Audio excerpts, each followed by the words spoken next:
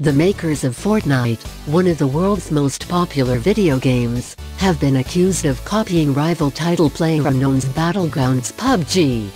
The studio behind PUBG has asked the court in South Korea to determine whether Epic Games copied its intellectual property.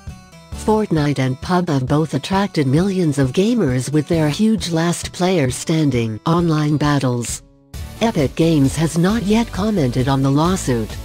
PUBG was first released in March 2017. It was inspired by the Japanese thriller film Battle Royale, in which a group of students is forced to fight to the death by the government.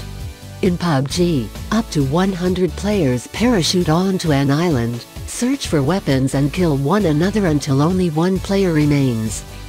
Fortnite was first released in July 2017, but its Battle Royale mode was not added until September 2017. The game also sees up to 100 players land on an island, search for weapons and kill one another until one player is left standing.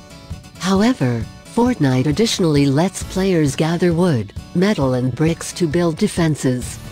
Both games have proved hugely popular, in February, Epic Games said Fortnite had broken the world record with 3.4 million people playing at once.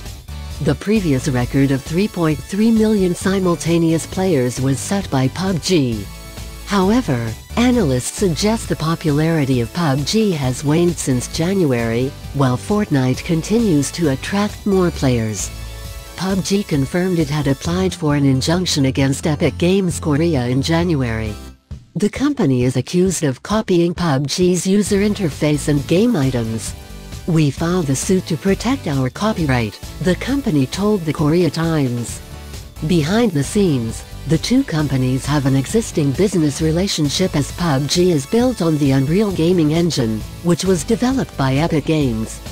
According to Bloomberg, PUBG has generated sales of up to $1.3 billion. While Fortnite is free to download, Players can buy cosmetic skins for weapons and characters. Analysts suggest the game generates more than $200 million a month. Please subscribe to my channel and also press the bell icon so you can get the latest video notification, and this is absolutely free.